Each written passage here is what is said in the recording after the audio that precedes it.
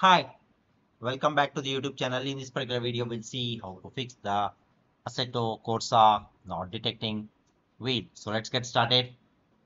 Fix number one, wheel settings in the AC. Make sure the wheel is selected as the input device in the AC settings, not keyboard or the gamepad. Go to the options control input settings. Select your wheel from the input device drop down. Ensure the keyboard and the gamepad are not selected. The second method is rebind your wheels control in the game. Go to the options control bindings, rebind all the wheels controls like the steering, throttle, brake, clutch, shifters. Save the control settings. The fix number two is uh, disable the Steam controller options. Open the Steam and go to settings. Select controller from the left menu. Uncheck the PlayStation configuration support and any other controller options. Restart the Steam.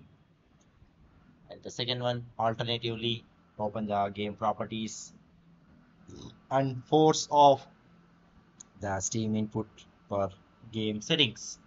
Right click the Assetto Corsa in the Steam library.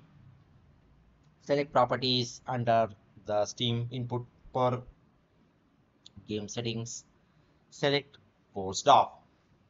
Fix number three, wheel setup wizard. Use the wheel setup wizard in game to set up the wheel. Again, if it is not recognized, launch the Assetto Corsa. Go to the options control, wheel wizard. Follow the on-screen instructions to recalibrate your wheel.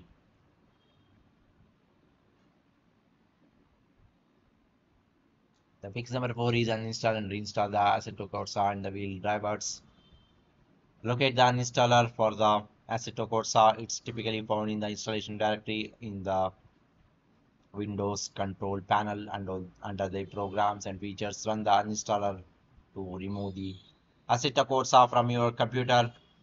Uninstall the wheel drivers. Go to the device manager on your computer. Locate the driver associated with your racing wheel. Right click on the wheel drivers and select uninstall to remove them from your device or the system.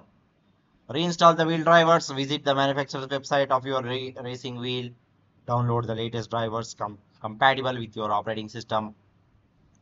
Install the drivers by following the on-screen instructions.